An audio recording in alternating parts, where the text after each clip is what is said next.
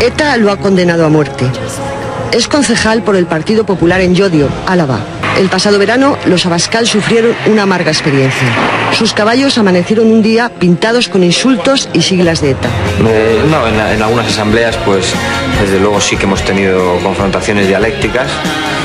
Y bueno, ellos normalmente, más que dialéctica, lo que, lo, que hacen son prácticas mafiosas porque se dedican a amedrentar e intentar que se vote a mano alzada, ¿no? Pero no, nunca hemos tenido ningún enfrentamiento, entre otras cosas porque en clase no iban con capucha. Sin embargo, pues mi vida para algunos no vale nada. Y la libertad de ese pueblo del que formo parte vale mucho. Más allá de partidos, más allá de siglas, hemos elegido, juntos los españoles, que amamos a nuestra patria y a nuestra libertad y que respetamos las leyes y la convivencia. No van a pasar por encima de nosotros. ¡Viva España!